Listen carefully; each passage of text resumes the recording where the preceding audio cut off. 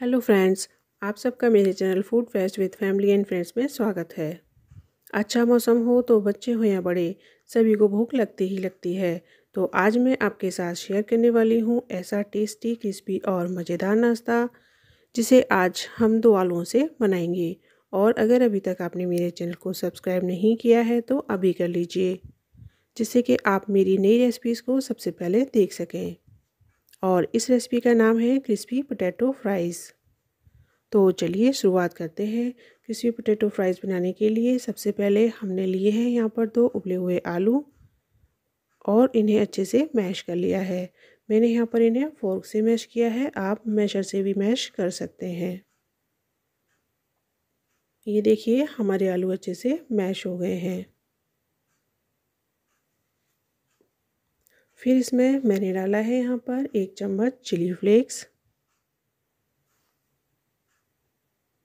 नमक स्वादानुसार और थोड़ा सा धनिया पत्ती बारीक कटी हुई और टू टेबल स्पून कॉर्नफ्लावर आप चाहें तो इसमें बारीक कटी हुई हरी मिर्ची और लाल मिर्च पाउडर भी ऐड कर सकते हैं, पर मुझे बच्चों के लिए बनाना है, इसीलिए मैंने नहीं डाला है। और ये देखिए, आप हम इसे अच्छे से मिक्स कर लेंगे। और फिर इसके तीन या चार गोले बना लेंगे और चकले पर या किसी बेस पर एक दो बूंदें ऑयल की लगाकर उन्हें हम पटेटो मिक्स को का एक गोला लेकर उस पर इस तरीके से लंबाई में रोल कर लेंगे और फिर फोर्क की हेल्प से इसे हम बीच बीच में दबाते जाएँगे।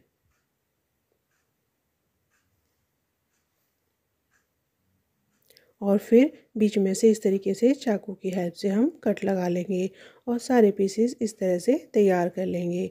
फिर हम एक बोल लेंगे और उसमें एक एग तोड़कर निकाल लेंगे और उसे अच्छे से मिक्स कर लेंगे।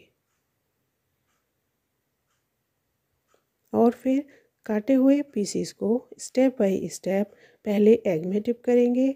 फिर उस पर ब्रेड क्रम्स लगाकर फ्राई करने हम गर्म तेल में डाल देंगे।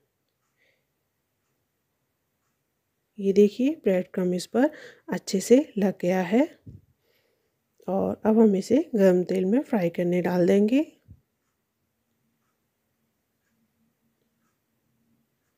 और इसी तरीके से बाकी के सारे फ्राइज़ भी हम तैयार कर लेंगे। और इसी तरीके से हम ब्रेड क्रम्स लगाकर इन्हें हम मीडियम गर्म तेल में एक एक करके हम क्रिस्पी पोटैटो फ्राइज़ डालते जाएँगे। और शुरुआत में तेल बहुत ज़्यादा गर्म नहीं होना चाहिए। ये और बीच बीच में हम इस तरीके से इसे पलटते भी रहेंगे। शुरुआत में तेल बहुत ज़्यादा गर्म नहीं होना चाहिए और ना ही बिल्कुल ठंडा होना चाहिए। और इस तरह से गर्म तेल में पोटैटो फ्राइज़ हम डालते जाएँगे। ज़्यादा ठंडे तेल में डाल देंगे तो ये फूल नहीं पाएँगे और तेल पी लेंगे और बहुत गर्म तेल में डालने पर ये बहुत जल्दी लाल हो जाएँगे और अंदर तक सीख नहीं पाएँगे। तो इन्हें मीडियम गर्म तेल में ही डालें और जितनी कढ़ाई या पैन में जगह है, उसी हिसाब से हम पीसीस डाल देंगे और फिर बीच बीच में पलटते भी जाएँगे जिससे कि दोनों तरफ़ से क्रिस्पी हो जाए। बस जैसे ही इनमें गोल्डन कलर आ जाएगा और लगेगा कि क्रिस्पी हो गए हैं तो इन्हें हम निकाल लेंगे। और ये देखिए कितना अच्छा कलर आया है और हमारी फ्राइज़ एकदम फूल भी गए हैं। और अब हम इन्हें एक प्लेट में सर्व कर लेंगे।